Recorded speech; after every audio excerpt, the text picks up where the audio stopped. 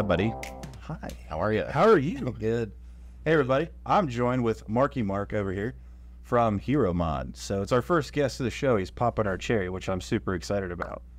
There you go. But before we get into a lot of that stuff, we'll talk about our giveaway real fast. So if we get 2,500 subs, somebody's going to take home 500 rounds of brass case Winchester 115 grain. So just like, follow, subscribe, and then if you don't mind, leave a like and a comment because it helps the algorithms Sure does. which seems like I don't know some deep state stuff with some of these things with YouTube and gun industry shit, but we won't get too far down that rabbit hole. But right. like, follow, subscribe for a chance to win 500 rounds of brass. Yeah, it's it's gonna be gold soon. It's a good deal, I know. If you go back and look at our our video from I don't know a month ago of what's happening with the ammo market, it's nuts. That was a great video. I watched the whole thing. Thank you. Um, We're trying, man. We're trying, trying to find that sweet spot. You got some generous information in that for people to Yeah, understand there. Yeah. You really did. Uh, we try to be transparent. So, so why don't you tell us who the hell you are and why you're here? Uh, my name is Mark. Uh, I'm just a normal dude, honestly, like everyone else in this world, right? That's true. We've known each other a long time. So So we've known each other a long time. Uh, so for any of you guys that watch, Zach has done. He's like a guardian angel for me. I don't know about that. people don't he doesn't say that but he's been a guardian angel. Uh, during uh, shutdowns in the past in the us he was making sure you know i was still able to kind of work on videos i was producing uh, get ammo that i needed and stuff because he, he believed in me and what i was doing. Hundred percent. and uh, the information i was trying to get out. So he's of all the people in my life he's on the list of all the guardian angels that have looked over me. Yeah. I love it. yeah so No, he's very knowledgeable. Don't let him lie.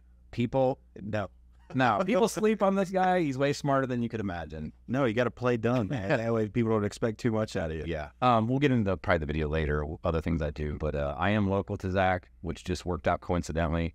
Uh, he has believed in me. Um, I have a local business here. Uh, just hit my 20 year, yeah, it's insane. 20 years. Yep. So you're you're the owner of Empire Tattoo. That's correct. And Not not only is he a manufacturer in the Second Amendment space now, he's also, and I'll say it, I've seen you shoot. He's a world class carbine shooter, and a world class tattoo artist. This dude does not stop, and he's just good at everything he touches, and it pisses me off because I'm just jealous. now if I could just master pistols, I'm getting there. I'm trying. That's Uh, that's my niche, and I'm being very humbled right now by the guys at Monsoon. Vinny is just destroying us right now. He's so good. I definitely want to come down and try because I'll run a stock G19, you know, and see what I can do. Yeah. Production class. So Those guys are running staccatos, and they're from. Like, I don't give Zach enough credit either for Monsoon. Vinny's right hand man. Like Vinny is amazing. Zach is very, very good too. So those guys are, are humbling Andrew and I, and making us better shooters in the process, which is super cool. you got to be around better people to get better. A hundred percent. I don't mind getting my ass waxed every once in a while to get better. Yep. Take ego, get gone. Yeah. Uh, keep your competitive nature and try to outdo them. Once you outdo the better shooter, they're in turn going to try to outdo you, and everybody just elevates. Basically, it's how it works. Yeah, it's it's pretty cool how it works. So it's been that way since the dawn of time. Yeah. So mention that you are in the firearms space now. You know, you've been a shooter a long time. You're prior army, so been a shooter a long time, and you came up with a new mousetrap. So you have a channel on YouTube, uh, which is I think some of the best content on YouTube, barring any type of genre. Your creativity and your way to summarize to the layman how optics work is next level. I mean, it is the shit that uh, optics companies. I mean, you're sitting down and talking to these guys, the higher ups at Trijicon, things like that, because you know your shit and you're able to explain it at a layman level to a lot of people out there. So why don't you talk about your channel a little bit? And I'll tag it down here at the bottom so you guys can go follow Mark too. Yeah. the power of editing, Add animation. Yeah. But uh, talk about your channel a little bit, what you're doing. Um, basically, my channel, we everybody knows there was some shutdowns, and my business, unfortunately, was one of the ones that took the big hit. Uh, we were basically gonna lose our license if we were caught operating. There was literally nothing we can do. And uh, you're like me, where you have no off switch. Yeah. I am a highly productive guy. Boredom is my enemy. I can't do it. So sitting around and I'm like, you know what? I shoot a lot. I like shooting a lot. And then, you know, there's some concepts that uh in my mind I felt like I could animate for the American public. Some of the videos were going to be aimed towards Army and Marines to make them better and just help all our guys in uniform. And then uh, I realized, well, why just give it to them? Why not give it to the citizens just as well? Everybody deserves it. Yeah. Did I mention the citizen? I'm this. Yeah. I mean, they gave us MREs, they gave us uniforms, so I'll give back to the people as well. Well, I realized you can't forget about the little guy. make what you wish you had when you had got into the business or an instructional or anything that you wish you had had to save you time and money.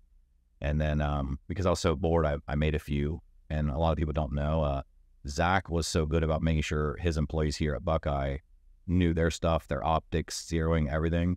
We had actually, he allowed me to make some videos and give him some just Yeah. to make sure his employees knew what they were talking about, which a lot of companies don't do. Yeah, we use them as training tools because far be it for me, it's a it's an audio aid because you're narrating the whole time. It's a visual aid too because you're showing the animations how the shit works, and it just it resonates with folks a lot better than sitting up there death by PowerPoint to try to teach about glass. Because I can tell you firsthand, in in this industry, it's way easier to go on the internet and find information about a Glock 19 and be able to talk intelligently on that than it is about glass. Glass is like the 800 pound gorilla that nobody wants to really touch because there's so many different facets to it, especially when you start talking about the different types of glass, you know, Yeah. Whether you're talking about diopters and prisms and things like that. And it's like, those are buzzwords, but what do they actually mean and how they apply? So your videos are perfect for a training tool. And uh, are they still on your YouTube channel? Yep, everything's all, uh not those ones. I'll re-release sections of them later, Okay. but uh, they were amateur and I was learning the software. I, you know, I'm self-taught on almost everything. Yeah, So I get that. yeah. YouTube University, baby. Yeah. Well, I actually didn't use too many tools. I usually play with the software tools until I figure Oh. out what something does through trial and error. And then uh now those old ones, you know, everybody looks back at their old work and doesn't like it. So um yeah, like half these videos. yeah, and it yeah. okay.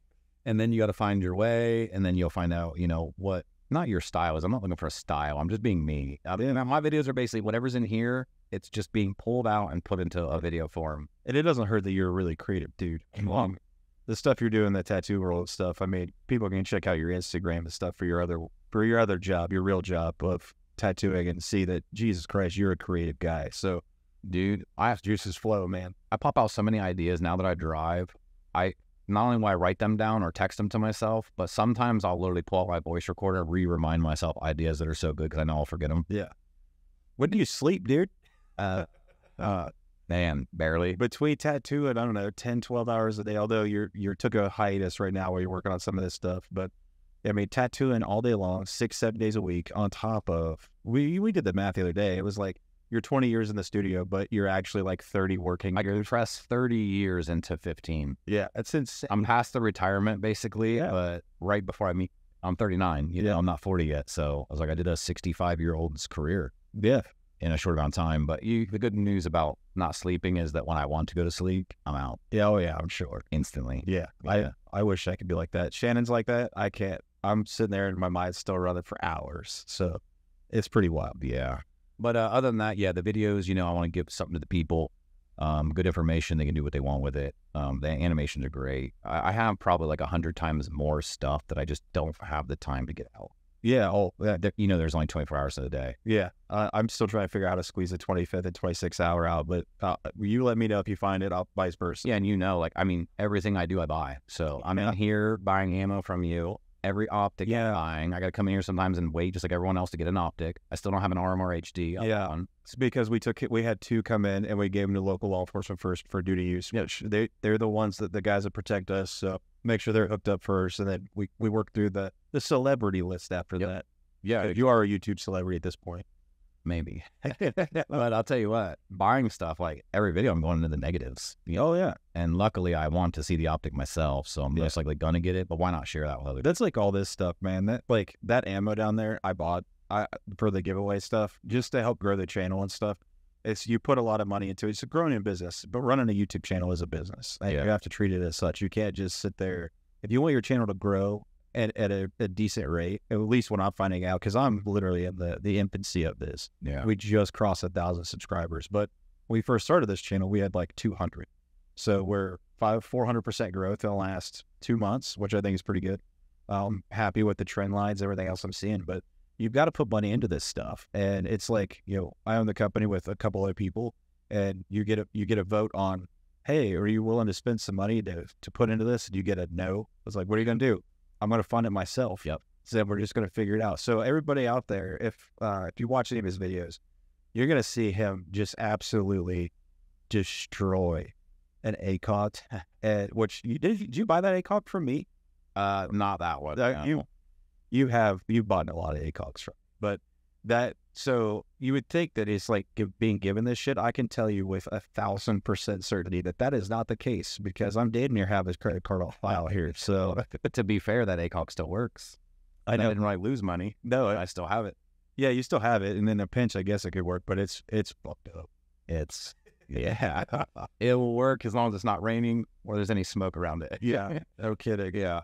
Well, so throughout trials and tribulations, going through some of the optics stuff, you you kind of had a happy accident, right? So you're a big ACOG guy. I think anybody who knows you knows that. If they see, uh, I also use them with like knots, but they see any of your stuff, you have. I don't even want to discuss how many rifles you have with ACOGs mounted to them, but you're a big ACOG guy, and Primary Arms comes along and drops a prismatic, micro prismatic Mhm. that is dubbed the mini ACOG or the poor man's ACOG. And they did it a 1X, a 3X, and then uh, after about a year, they dropped the 5X. Yep. And you started playing around with that. And The micro 5X, yeah. yeah, you want to talk about that a little bit? Because we have a product here on the table, which is a company that you created out of necessity. And I want you to talk very briefly on the 5X, what your opinions of that are, because there's a whole video you have on this, which is amazing, and you should check it out. Uh, but you wanted a top dot mount to be able to use with that to have something for a red dot. And what was provided from Primary Arms is just, it's not a good product. I mean, that's pretty evident in the video. So you made a better mousetrap. Yeah, there's actually like a trend in my videos. What's weird is I went to NRAAM.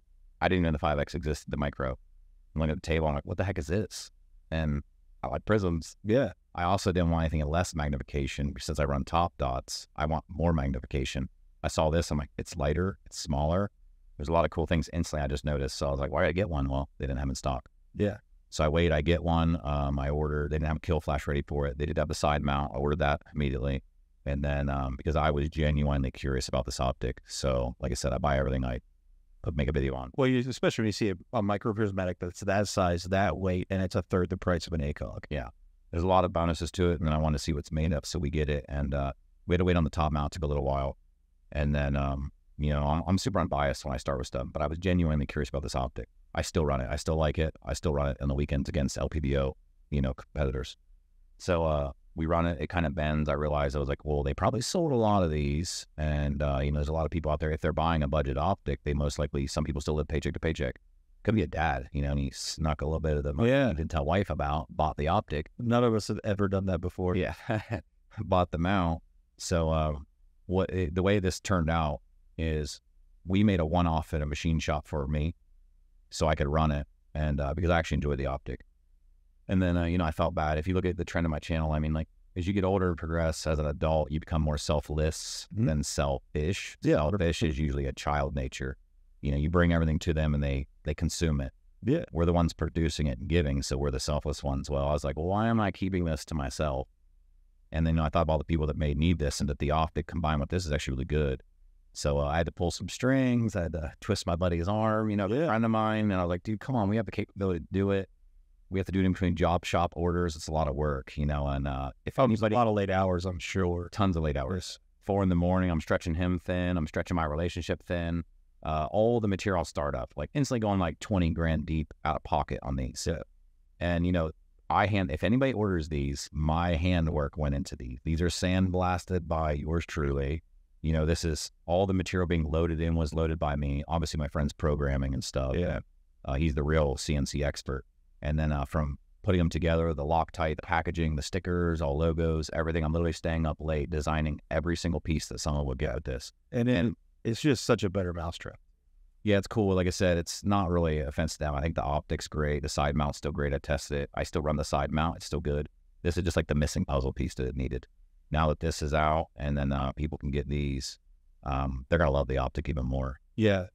So what this does, it gives you a piggyback on top of the primary arms. It replaces their factory one.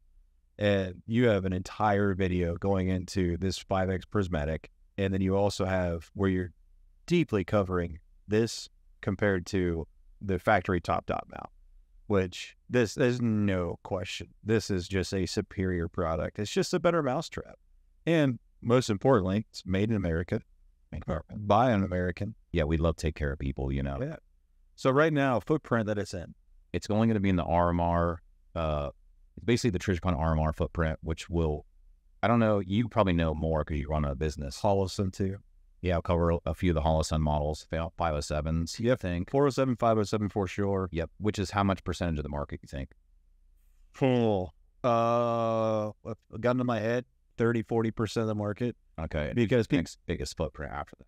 oh no, as far as RMR footprint goes, 70% of the market. Exactly. Yeah, yeah. I thought you meant like Holosun 407, 507 by mm-hmm. themselves. I'm like, of of red dots that are sold, I bet you 40% of the market is 407 or 507. Flip a coin, pick one. Yeah. They they're a great optic, and it's the poor man's RMR SRO. It doesn't have the window of an SRO, but it's if people don't have the money for an RMR, at, you know, 500, 600 bucks, a $229 407C that's solar powered, battery backup, uh, two MOA dot, quarter MOA adjustments, RMR footprint. Yeah. Sweet. Well, we chose this for a couple of reasons. One, I try to build what I will personally use. Yeah. If you ever came to the range where I am, you will see me running something that I believe in. I run a lot of Trijicon products. Yeah. But also at the same point, we got 70% of the market. And then secondly, it'll cover, like you said, people that can't afford an RMR right now or an SRO, Mhm. they can get the Holosun for it. Yeah. And then it won't break the bank. So after this, we do have requests for MPS footprints, uh, the doctor footprints for some of those Delta Point Pros footprint. Yeah, if you're going to do another footprint, Delta Point Pro, just because of Romeo 1, Delta Point, obviously, and the E Flex. Yep. We'll do a small run of those and stuff. We know there's not going to be as many of them, but, you know, I try to look out for the little guy. Nice thing is, it's a, it's a plate on the top. So you have set screws that are in there that are Loctited into the ring itself. They're so you have the ability to, to, it doesn't exist yet, but Yep. We plan to have it. They can order directly for the footprint with ring, but later, the way we did it, you can, you can take this off and then there'll be plate options because if you're like me, I own multiple footprints myself. I might later want to change that to another option just for my own, you know, Yeah, the ADH, no, no off button on Yeah. a will move some stuff around. No, I get that, man. So you essentially saw a, a gap in the market, created a better mousetrap for it, and they are live and available now, right? HeroMod.com. Yep. You can go there and uh, they're in stock. And then uh, we still have some extra plates and rings we can basically assemble and get them together we start running low for now. No, it's awesome. But Yeah, we're, we're actually shifting some other things which I can't talk about. there We have a lot of cool ideas. I mean, the whole idea of the company is like, uh, how many people sit at home and say, "I wish they would make this." I wish they would make a P10 trigger that was better than Apex. Okay, we all have a. I wish somebody would do this. yeah. If you know me, anytime if I have a complaint, I try to always offer a solution. I try not to cry about anything unless I can do something about it, or at least try my best to do something about it. So in this case, I like the optic, and I'm like, well, I'm not going to just knock that top mount unless I can do something about it. And then uh, there's some other things I think people will be excited about we're working on. Yeah. But I mean, we're small. You know, we're real human beings. We're not a massive robotic factory. We're hand making these, and it takes time. There's two of you, right? Yes. It's just you and I won't you I won't say his name on the camera, but it's you and I th- who I think it is. Yeah. Right? Okay. Uh, It's, and, good then, friend of mine. and then can I get a one percent sliver in there for helping you with your website? One thousand percent. I don't know. I mean, So two point oh one people. more than honestly. So if you if you value like some of the help and some of the things that are hard, like you were a huge piece of help. No, man, that's I Yeah. you're you're one of my closest friends, so I'm happy to help, man. So that's I'm so I'm very proud of you and this product and what you're doing in the industry. I think it's awesome. Likewise, yeah. And uh, like I said, we're gonna keep trying to target things that make it better for everyone. Like the name Hero Mod, for example, right? Yeah. You know, a hero could be a military member. You know, being a hero for our country, law enforcement being a hero for a family when Mhm. it comes to their need, or the father. You know, like your dad could be your hero, or anybody could be your hero. Yeah. Technically, well, we're gonna give us equipment to those people. You know, we try to aim it towards people with good intentions and stuff. You know, so uh, yeah, we'll help make things for those heroes that we all have. So, Yeah. kind of like you. Oh, don't you're making me blood. You're my hero. Jesus, yeah. Uh, so available now on HeroMod.com, and then we have for our viewers we have a discount code. We do. We have a memorial discount code. What what is that discount code? Because we didn't talk about it before we said Let's now make something up. Hmm. Delta. No, what about BSC 10? There you go. BSC 10. There we go. So our viewers right now, go to HeroMod.com, save ten percent, right? Ten percent on your order using code BSC10. Yep. Bravo, Sarah, Charlie, one zero. Big up. because I have a tendency to slur on these videos. But yeah, uh, everybody have a safe and fun Memorial Day, or hope we did. And uh, we'll catch you next time. This is Mark from Delta 34. I'm Zach. We'll catch you next time.